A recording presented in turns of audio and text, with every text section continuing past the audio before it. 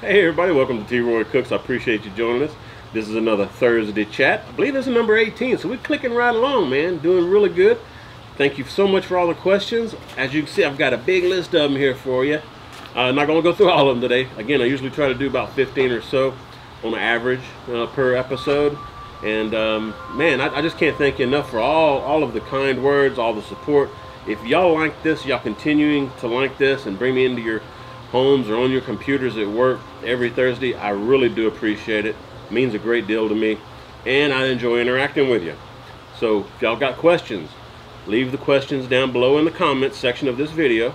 If you want to find out about any products I may mention or any other YouTube channels I may mention or even more information about me and my social media sites, just hit show more down below the video down there and that'll open the description box for you. And I've also got the questions listed there so that you can uh, see where at in the video the question is asked and click on it and it'll take you to that part of the video.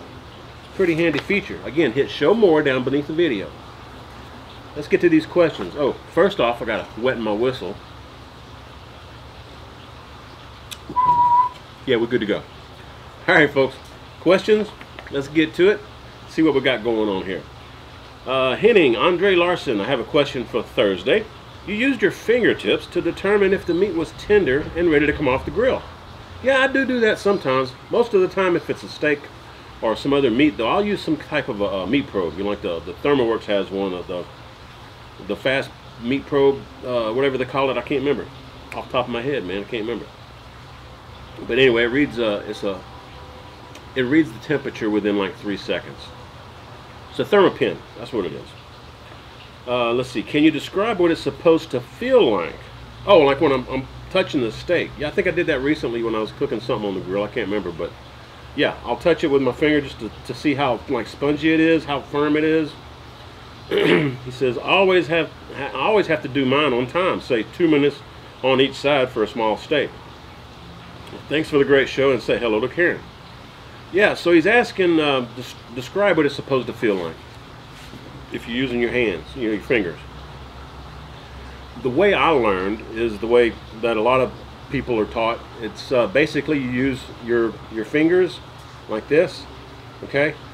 Don't put any pressure. Don't squeeze tight. Just put your finger there on your thumb, and then feel right here, right here in that that thumb muscle on this side. That should be like a, a rare and if you do use your ring finger, I'm sorry, if you use your middle finger, the bird finger, that's going to be like a more of a medium, medium rare, okay? Yeah, I think that's what it is. Rare, medium, rare, medium, and then well done. And again, you're not you're not squeezing, you're just laying your finger there, okay? And you feel what the pressure is right here in this in this section of your thumb, in the, in the meat of your thumb right here. So rare, medium rare, medium, getting really tight right there. And that, that's like well done. You don't really want that right there, okay? I hope that helps. It's a it's it's an idea of, of what it should feel like anyway. It's not it's not an exact science. Using a meat probe is the best way to go. Byron Chandler. My buddy Byron, how you doing there, buddy? he says, Hi Troy, what do you enjoy about doing your chat videos on Thursday mornings? I hope you answer this for the next chat video. Keep up the good work, good buddy. Well, Byron, I am going to answer this for you. I love doing these chat videos so that I can interact with each of you. Plus, not only are you learning from what I may offer as my opinion on something, I mean, for I'm not no expert, man. Y'all go check out what I say and use your own opinion, okay? But I'll give you my own honest opinion based on the information I have available and my experience. But, uh, but again, I'm no expert, so just keep that in mind, okay? And also learn from answering your questions. So if I if if if you ask a question I haven't heard of something, I'll go do some research on it. So I'm learning also. so we're interacting. We're all learning together. That's the way I look at it. And I love that. I love that. And Byron, I don't I don't film these on Thursday mornings. I actually have a regular 9 to 5 job, Monday through Friday.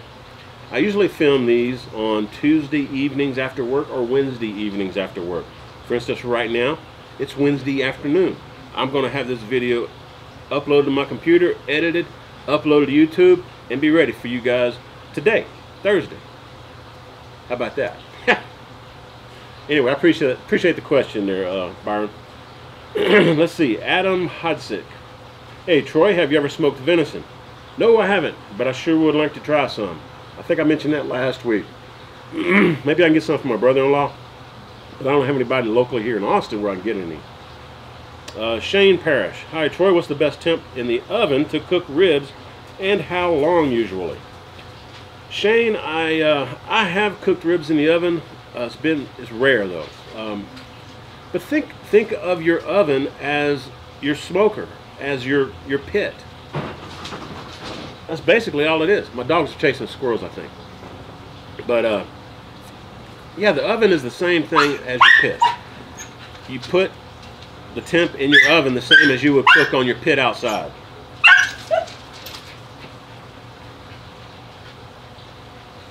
Lucy getting her a squirrel. uh, generally, I do the same as my pit. I will cook like 250 in the oven, maybe 275, but 250 usually, or 225. And I will cook it the same time as I would on my pit. You know, usually five to six hours for, for uh, St. Louis. Now your your baby backs are going to take like four to five, four and a half or five. So they take a little bit less time. But uh, just again, check, as I've shown you in my videos, check for the tenderness, check for the pullback on the uh, rib bone, uh, the meat, and also take your tines and, and lift it in the middle. And when you lift it up and they, they bend very easily, you know, they're not still real tight. They bend easily, flop over, they're usually tender enough to eat. Hope that helps. And, and usually I don't wrap in the oven, but you can very well do that. If you do wrap, you're going to cut your time down probably by at least an hour, hour and a half if you wrap. Hope that helps. I appreciate the question, Shane. Uh, the the Nakio. Hey T Roy, got a question for you. Have you ever tried cooking some Argentinian in Argentinian cuts? If not, give it a try. Love your videos and cheers. I have not tried any. I really I can't get it or I haven't found a place to get Argentinian cuts here in Austin where I'm at if I got some, I'd probably have to order it off the internet. And I, I, just haven't really looked into it that much. I mean, I definitely would like to try some. It's I'd like to have some actual beef from Argentina, Argentina. I'm sorry, Argentinian beef. Um, I just I would like to, to taste the difference, you know, from from the local environments of where the cattle was raised. You know, I think that'd be cool. So yeah, I'd love to do some Argentinian cuts of beef.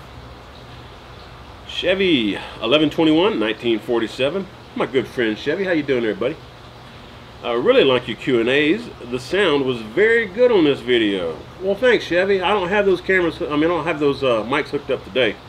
I just have my regular shotgun mic uh, Rode uh, VidMic Pro shotgun mic sitting on top of my camera today. So I, I didn't pull out the big mics today. Sun's gonna be setting here shortly and I was a little bit rushed for time. But man I appreciate it. I'm glad you enjoyed the audio of that video where I did use that Sennheiser mic recently. I got to figure out how to position it though, because the way I had it positioned, I mean, it's, it's like a shotgun mic, but it'll pick up sound from behind it a little bit, so it's picking up the fountain that's directly behind the camera in the pool. So I may have to adjust where I where I aim, how I aim it, like maybe aim it down so it's not picking up. Anyway, well, hey Karen. Hi. What you doing, honey? I'm answering questions from my fans. Oh, okay. You want to come say hello? Hi. She's crazy. Woo, let's see. Chevy, what you got for me there, man? Um, question for you. My local store is selling wet aged certified Angus beef steaks. What is wet aging? Thanks. wet aging is well, since plastics and, and all that have been developed and, and vacuum sealing bags have been, you know, made more economical, wet aging is a way to age the beef while it's leaving the processing plant where they slaughter the cattle until it gets to your store. And generally, wet aged beef that you would find in your grocery store is wet aged for approximately four to six weeks or so, okay? Generally, generally about, well, maybe not even that long, maybe three or four weeks. I think, I think it's like 20 or 24 days or 28 days. Um, it's different. it's different than dry aging though. Wet aging is where they take the meat and they wrap it and vacuum seal the meat right from the slaughterhouse. Okay, before they ship it out, and that way, inside the bag you've got the blood from the beef that settles and pulls in. You know, kind of pulls in the uh, not pool like pool, but pools like a swimming pool. Uh, there's liquid in there. By the time the store gets it to sell it to you, and, and when they cut it open, it's got blood in there. And every once in a while, I think they also include, I don't know if it's, some kind of like a, a, sodium mixture. It's got some kind of a salt type mixture to help try to age it a little better, I think. But generally, it's just the, li the liquids naturally coming from the meat as it's sitting in that vacuum sealed bag. And that helps to age it. But again, it's not nearly the same flavor as dry aging. Okay? I hope that helps. And, and the purpose of aging, by the way, the aging process, whether it's wet or dry, helps break down the enzymes and the fibers of the meat, making it more tender. And in the case of dry aging, you get like a, a, a buttery aroma and like a nutty taste. Okay? So again, hope that helps answer the question that you had for me. I appreciate the question. Carrie Ward, T-Roy, my fellow Texan, have you ever tried or made grilled peaches? And if you haven't, could you make some in a video sometime? I have done grilled peaches, but I have not done a video on it, I don't think. I wanted to try like making a, a peach melba, peach melba, I think it's called. I think that would be fantastic. I have done uh, bananas Foster on the grill, and I did a video on that. That turned out really good. But yeah, I do need to do some peaches. I love grilled fruits, man. Grilled fruit and vegetables for that matter. But grilled fruits, the, the grill just brings the natural sugars out and it changes the flavor of the fruit in such a way. It just makes it makes it really tasty, folks. but uh, yeah, I appreciate the uh, suggestion, Carrie, and, and I'll, I'll, see if I can do that for you. Okay. Howdy. All the way from up here in Austin. I think I'm guessing you're down south. I think you're down south of me. My fellow Texan. All right, Ben's Barbecue. Great video again, T-Roy. I'm going to make some videos in my new back, I mean, my new garden. Well, appreciate uh, seeing some videos of yours. That'd be real nice. You got to let me know, Ben. Let me know when you start getting those videos up, buddy. I think I'm already subscribed to you, so I'll, I'll see them, but remind me when you get those videos going. He said he's uh, he'll buy a Kamado or Weber Master Touch. What do you think? Hmm, it really depends on how you want to cook. Um, if you're just doing a lot of barbecue and stuff, it really doesn't matter what you know what you're going to use. Either one of those will work fine. The uh, man, I need to get a Weber kettle. I really do, so I can help answer some of these questions. Um, there's so many accessories for all of the different Weber grills, man. Uh, you can do smoke, you know, they got Smokenators and stuff you can put in there. You smoke cheese and stuff, and salmon on them. I don't really, I, don't, I think it really depends on what you want to cook the most. I mean, if you're just wanting to sear hot and fast, they'll both do that. If you want to do low and slow, I'll say the Kamado's probably better than the kettle in that sense. But either one will work, man. Just my, my advice will be get what you can afford, okay? You can always upgrade later if you want to. Keep that in mind. Uh, Raider Steve O. T. Roy, how well do you like the electric smokers? Thinking about getting one of the Masterbuilt types since they would be so easy for something like a brisket. Thanks, man. Keep up the great videos. Again, I just mentioned this, you know, get the best that you can afford. Electric smokers are fine. They really are. They, they, uh, I think they're a little bit harder to maintain temps, especially if it's windy or very cold outside. But uh, if if they're well built and they have some insulation, they'll they'll hold the heat for you even in the cold temps. So get the best you can afford. Okay, and and go with it. I mean, uh, my dad had an old electric smoker, and he used it for quite some time. Worked great too. It was an old. Uh, it looked like a Weber uh, Weber Smoky Mountain. I think it was a different brand, but it had a, a heating element in the bottom. he, he used to grill steaks and stuff. He'd take the midsection off and fire that burner up and grill steaks and stuff. Put some wood chips around the fire burner. You know, the, the electric element. Works great, man. Just have fun with it. William Loans. Uh, I remember you got Sean an old country offset. How does he like it, and what is your opinion of it? Thanks. Man, those old country smokers, uh, those pits are well built. I mean, uh, they're they're not the same quality as my uh, my Yoder Wichita, of course, but they're pretty solid. I mean, I, I think my brother got the Pecos, the old country Pecos. I want to say it was like 400, 450 pounds. My Yoder Wichita is like a little over 600 pounds. So it's just a difference in the thickness of the metal. Also, the uh, the weld joints. Uh, the weld joints on the old country are better than some weld joints that I've seen on other pits of similar price.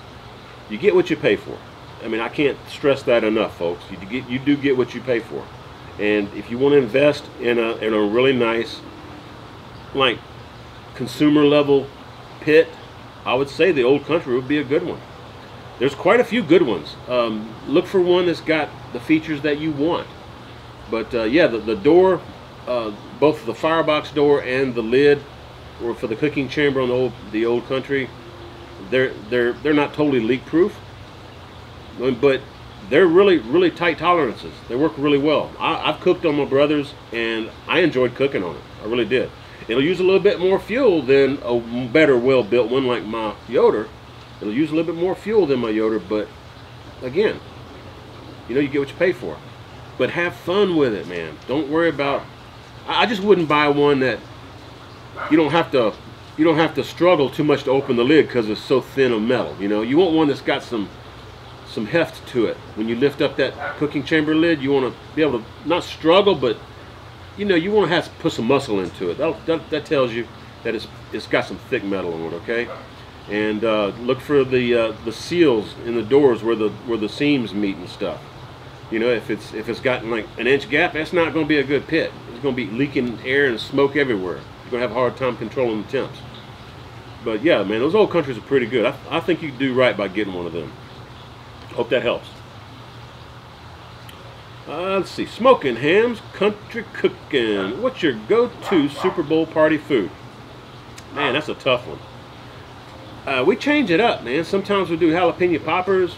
Sometimes we do uh, um, do ribs and just cut them into individual ribs, you know, like uh, some St. Louis. I'm, I'm, probably gonna do some St. Louis ribs this weekend. But uh, nachos, that nachos video I did recently, that that will work really well. Finger foods, man, any kind of finger foods, you know, some uh, uh, fried mozzarella sticks with some marinara sauce work, or um, even something like uh, some chicken wings would work. You know, some, maybe some skewered beef or something, you know, or some, some chicken. Just finger food works best, especially if you're doing a party, okay? But I, I would say probably, probably some ribs, pork ribs would be my favorite. And then maybe chicken wings or, uh, or jalapeno poppers or, or, or, even some kind of a dip. You know, like a, a guacamole dip or uh, like a Velveeta and Rotel type dip or a seven layer dip which I've also done a video on several years ago which turned out excellent. All those are fantastic man. Appreciate the question there Ashley. Let's see. Tim Cam Holtz. Troy if I want a Weber Smoky Mountain 18 and a half or 22 and a half uh, also looking at Dyna-Glo with Firebox. What do you think? Thanks my honest opinion would be to go with the Weber Smoky Mountain. The, uh, I, uh, I mean, the Dyna, the Dyna Glow, it looks pretty nice, but I haven't seen one in person to see how well it's built. If it's if you've got one that you can put your hands on and it feels solid, like I was just mentioning with the uh, the old country Pecos and all that, then go for it. I mean, it looks like it's, it's well constructed. Looks like it's got a nice design to it. So it would probably work. I'm just not sure how thick the metal is and how well it would retain heat. So think about that. And also longevity. I mean, I know the uh, the Weber grills and the, the, kettles and the Weber Smoky Mountains and stuff. Wow. I think that was a squirrel just jumped onto my, my roof right here above me. But the uh, I know the Weber grills, they all last you know, like 12, 15 years plus, depending on how well you take care of them. So check out check out the warranties. You know, see what kind of warranties you get with your pit that you're wanting to buy. But in my opinion, I go with the Weber Smoky Mountain. I love Weber Smoky Mountains. They're, wonderful. Manure Fernandez, what's your opinion about injecting brisket and pork shoulders? Do you find it necessary? This question is for personal and family barbecue, not competition. Manure, yeah, man, I uh, I don't inject a whole lot, as you've probably noticed. If I want a little extra flavor, just to change it up, yeah, I will inject both pork butt and brisket.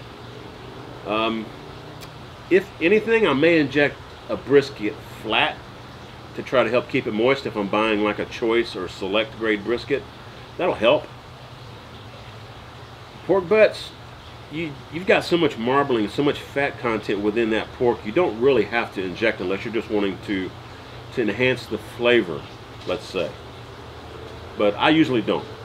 You know, that, that that's just my my way of doing it. In fact, I'll do some injected pork and um, I mean, do an injected pork butt and injected brisket for you in the future. And we'll check it out. We'll see how, how well it turns out. Mike Alert. A Alert. Mike, I'm sorry I'm messing your name up. My tongue's getting tied over here. Yeah, that's good. All right, Mike. Do you ever start out on your stick burner and then move it to the Weber Smoky Mountain to go unattended through the night? Fantastic question. I love that question. yes. Yes, the answer is yes, I do. Man, if I've had a long week at work and I'm just drained, tired, but I want to cook some barbecue, I will actually start off on my Yoder Wichita when the temps hit, you know, 145 or 150 or so, usually right close to where it's starting to stall. At that point, I'll switch it over to my Weber Smoky Mountain.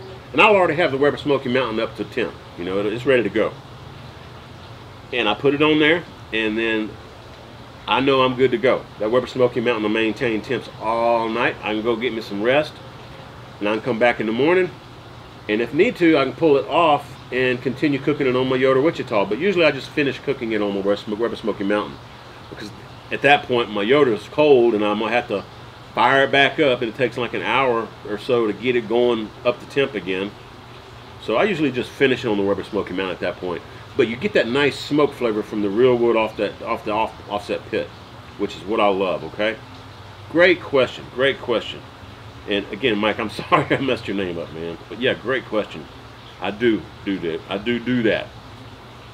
Louis Colomatis. Hey Troy, Lou from Jersey here. Hey Lou, how you doing? um, guys, I'm. Excuse me. I really appreciate each of you asking these questions. You just don't, it, it thrills me to answer these questions for you. Honestly, I mean, I love it. I love it. All right, Lewis, let's see what you got. From Jersey. Your channel is absolutely fantastic. Thanks, Lewis. I appreciate that, buddy. I must say, I definitely look forward to your chats. Thanks again. I, I enjoy doing them. I really do. I was wondering, when you were looking into getting a Kamado, uh, were you set on the Kamado Joe or were you torn between a couple of them? He says, I'm looking into getting a Kamado for the summer and just cannot decide what to get. Definitely want something big enough to fit a full packer brisket on, but I just don't know. Thanks for thanks for pumping out the great cooks and chats. You're very welcome, Lewis. I appreciate the question, man. Um, the Kamado Joe I like because it's easy to clean. It's actually got a tray under the under the the bite the base where the coals sit. Uh, it's got holes in the bottom, so it's, it's got airflow. But also the ashes from your lump charcoal go through those holes, and they collect into a tray that you can pull out and empty, which makes it very handy. I'll show you. Hang on. I'm just going to pause the video shortly. I'm going to bring it over there. We'll do this. Hang on. Alright, so this is what I'm talking about. See, you got the base down here. And right in here, this bottom vent, check this out. You got this nice tray right here, which collects, it collects your ash. Can you see that? It's got a nice handle on it. So you dump this out, get ready for the next cook. Makes cleaning very, very easy. I don't know of any other Kamado style cooker that has that feature. So that alone is one reason why I got this Kamado. I love it, man, love it. Let me bring it back over here, folks. All right, where were we here? Um, also like most of the most of the Kamados Kamado style cookers are very similar in the ceramic part. Okay, uh, there's some some slight differences, some slight rearrangements of some of the grill grates and stuff, but uh, I, I just like the ease that, how easy you can clean the Kamado Joe. That's that's one reason I got a main one. Let's see what else we got here. Uh, Johnny Meatballs. Johnny, my buddy, man. Yeah, Johnny sent me that nice Army West Point hat, man. I can't thank you enough for that, Johnny. And dude, those horseradish pickles were jamming, man. Oh, I love that nut. Those stuffed pick, uh, stuffed olives. Oh my God! And, and he, Johnny, also sent me just. I didn't show it on camera. He also sent me another jar of pickles that he said uh, they were they were like uh, fermented or aged, whatever you call it, uh, in some some kind of hot sauce. I thought it was jalapeno. That's what I thought it was. They're pretty kicking, man. but Johnny, thank you so much. Let's see what Johnny says. Hey T-Roy, thanks for using my question. You're quite welcome, Johnny. Thank you for asking, man. He says, my wife and boys loved hearing my name on your channel. Johnny Meatballs. There you go. Say hello to your wife and kids for me, man. Great family, great family. Uh, he says, I'm thinking about doing a rotisserie cooking. No, hang on. Let me start. Would you ever think about doing rotisserie cooking on your grill? Yeah, I would love to. In fact, I'd like to get the rotisserie system for the Kamado Joe. Excuse me, folks.